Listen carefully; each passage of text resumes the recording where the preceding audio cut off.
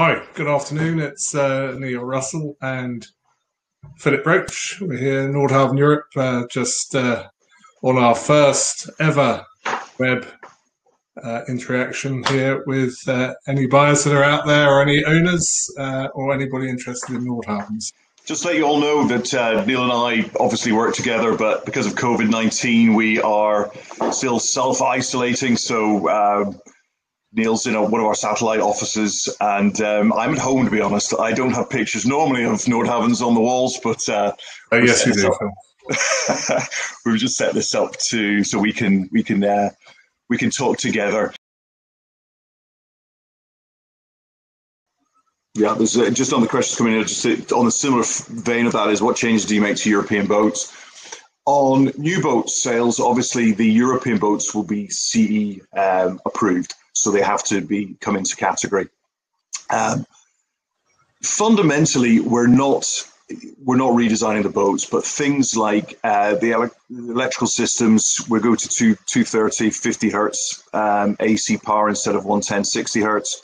That's the main consideration with the European boats. We tend to be using um, some, again, with the electrics, things like uh, we use Victron inverters, um, which the the American boats don't necessarily do, although they, they are using more of the European products um, for the US market as well. So there's there's small subtle changes. Uh, things like uh, passerelles um, are you know mandatory in in in uh, the Mediterranean. So if a boat is going to be based in the Med, we're fitting passerelles in factories.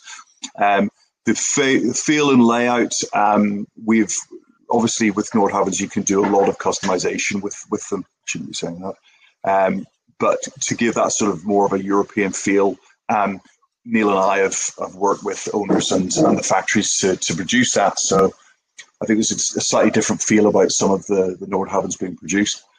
So leading on to that, obviously our, our time with Vripack, uh, the, the Dutch designer, um, they've done the interior for the Nordhavn 80, which um, if you haven't seen, please please go online have a look at it. It's um, very modern. Um, it's a sort of step away from what we normally do. Um, it's a, it's a choice. You can go for the modern look, but of course the traditional sort of Nordhavn fit out finish, which is just immaculate, is still very very popular.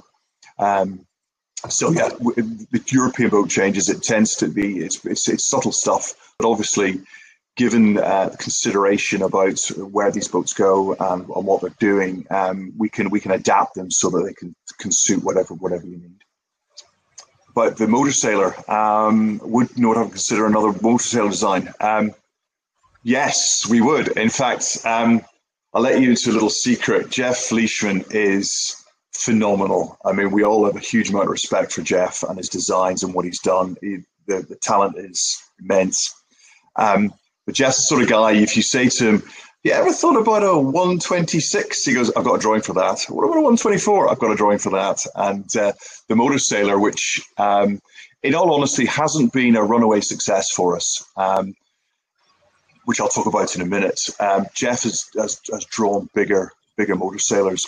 The issue with the motor sailor really is it's it's it's where it fits in to um, uh, who's who, who are we designing this boat for? If you're into the traditional Nordhavns, you don't really um, want sort of the, the sail part of it. Um, and then if you're a hardcore sailor, you might be sort of put off a little bit by the by the look of it. It's a bit too motorboaty. So you're you're almost between a rock and a hard place with it. But the boat, the, the motor sailor, the, the, 50, the 56 is a, an incredible boat, and uh, we were lucky enough to sell one on brokerage recently to a, to a, um, a lovely couple.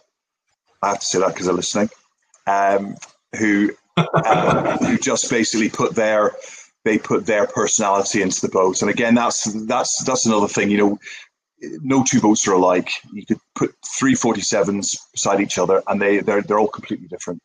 And uh, they've recently just just made that boat their own, and it's it's just fantastic and it, it's really kicked off our enthusiasm again that, about that particular particular model. Uh, it was built at Ta Shing. Um, the molds are still there, and we can we can produce produce new boats um, as and when required. So yeah, it's still an ongoing thing. Going bigger, um, probably that will be something to contemplate in the future. Um, our relationship with um, Ta Shing and also um, South Coast Marine in Xiamen, mainland China, those are our two main build yards. Uh, we've now introduced another uh, builder in Turkey, and uh, that's quite an exciting project. They're doing the Nordhavn 41. They want to produce more boats for us, um, different designs, and I can see that happening. Um, so it might be that, that the next motor sailor or next model will will be built at the, the Turkish yards. We're, we're, we're in, in sort of uh, long chats with with with uh, the builders about where things are going to go and the, how we're pushing towards it. Yeah, I see somebody's popped up there about um, there's a mention of a new Nordhavn 51 to be built at the Turkish yard. Yeah, that that's that's looking pretty likely. Um, there, the initial drawings which Jeff produced um, have been sort of published out there. The, the renderings, um, a very exciting project. The the the 51 and the 41, we're looking to make those more more production based boats.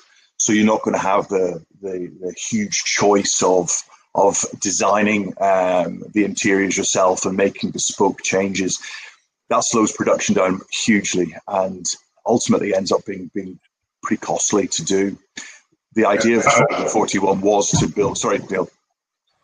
You, uh, we, sorry, I think I was about to say it, Phil. The idea of the 41 is actually in a batch build. So we're building uh, three to five hulls together uh, in a standard format, and so it keeps the, the production down um, rather than having all these changes, which really um, uh, does havoc with the production schedule and uh, um, really is, uh, causes uh, problems on on the, on the line, as it were. So trying to move towards a more of a production scenario in the true sense of the word. So.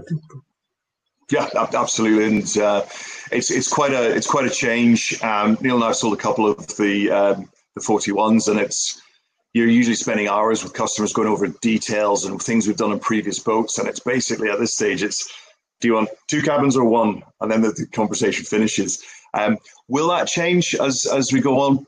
Possibly, because we wanted to certainly keep the first 10 to sort of 15 hulls constant to get the production up and running to to, to push forward on this project as quickly as we could. I think we will be able to start introducing things later on down the line with with later hulls, but we know it's not going to be fundamental changes. We're not going to be redesigning interiors. Um, it'll be sort of fit and finish colors. I think that'll be the sort of the, the level of it. But it's a boat that comes with everything. You you really um, the team at PA and everybody else involved really put their hearts and souls into producing a boat that we'd want to actually own, which had everything you needed.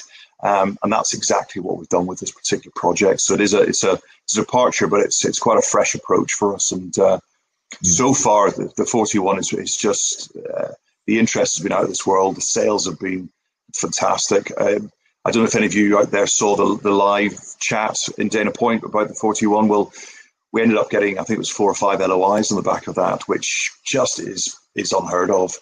And it's why this sort of online stuff, it's it's a bit distant and we prefer to be in the same room as as well, Neil and I as each other. But um, it does work. We're getting we're getting the message out there in a in a, in a pretty bespoke way. And um, I think these forums and 3D tours and everything else are going to be very much part of of how we conduct business in the future moving forward. You know, I think Phil, it's quite interesting the uh, the speed of uh, the 41 uh, sales.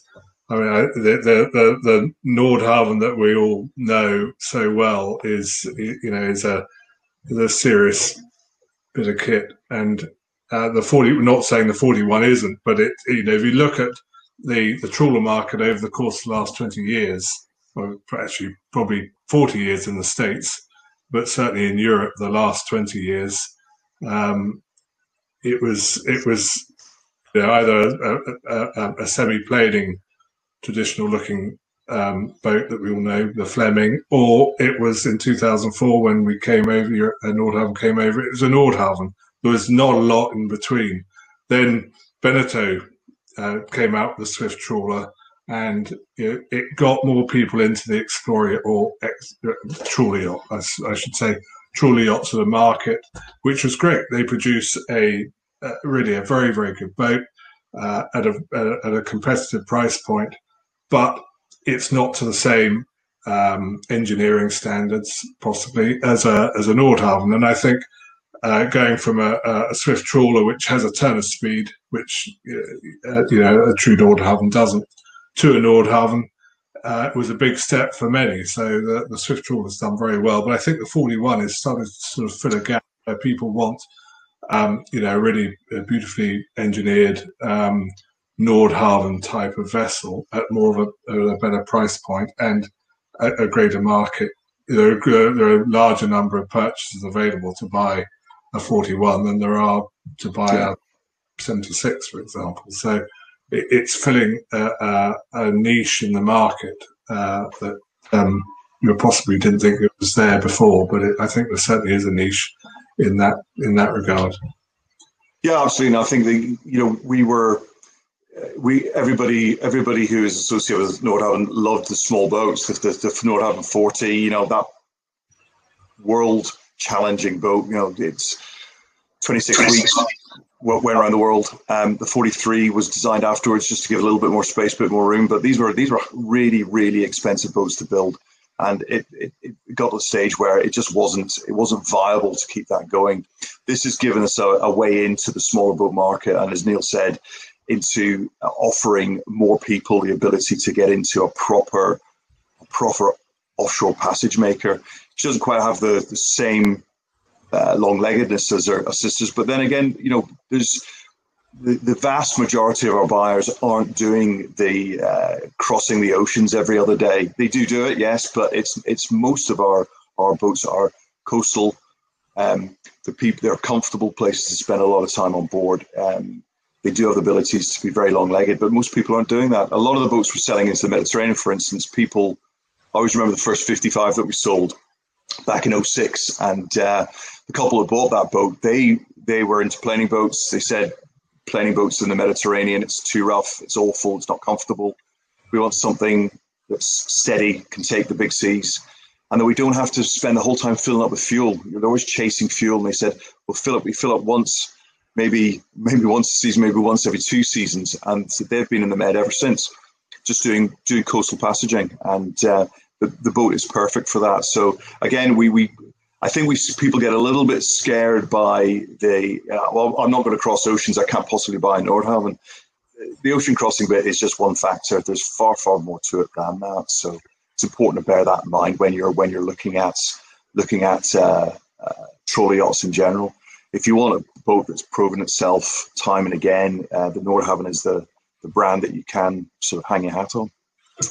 Indeed. Um, part of the question, Phil, uh, on the 41 was the 51. Um, obviously, it's being built hopefully uh, by the Turkish yard, uh, but an expected um, time frame. Um, I don't want to guess, but I'm, i want to say 2022. But uh, I think I'm, I'm right in saying that.